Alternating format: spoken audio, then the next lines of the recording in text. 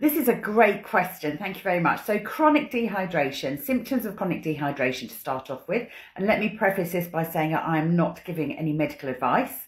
I'm not um, allowed to do that. But um, would be chronic dehydration, would be things like headaches, nausea, foggy head, um, uh, urine that's too dark, lots of um, uh, symptoms that, um, yeah, are quite easily fixable if you actually um, start drinking your water. But it can take a couple of weeks for that to happen. So what we would do is, but when you've made your booking, we would go through um, drinking water to see what you're doing before you're coming in, and then encourage you to improve that before you come in.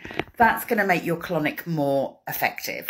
Um, However, if you're dehydrated, your body is going to absorb some water through the bowel. So as you put the water in, the body's going to go, oh, water, interesting and just absorb it basically, um, or certainly some of it, so that we will have less poo coming out because you're actually absorbing through, your body's trying to hold on to it. So that's why we encourage you to drink some water beforehand.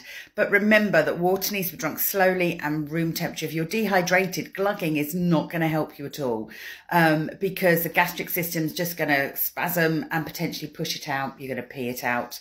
Um, but drink it slowly like a little flower and that will help you with chronic dehydration.